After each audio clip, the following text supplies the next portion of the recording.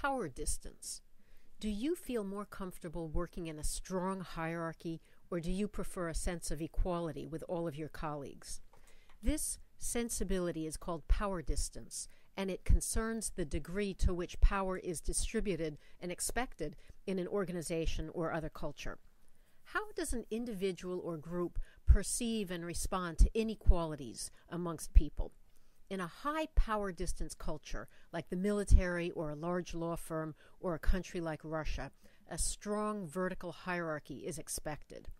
Think of the relationship of a general in the military to enlisted soldiers, or a senior law partner to a mere associate, or the Pope to a parish priest. In a high power distance culture, every person has a defined place and role.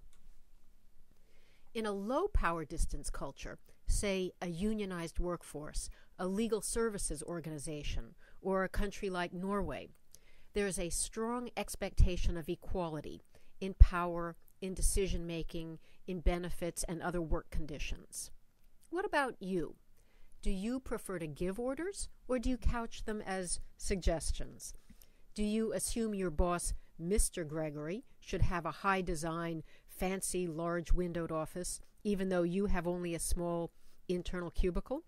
Or do you envision that you and your colleagues are really more or less equal, with your supervisor, Suzanne, being only a little bit more equal and maybe only a supervisor in name. Your deep seated assumptions about power distance will affect how you perceive and navigate relationships at work.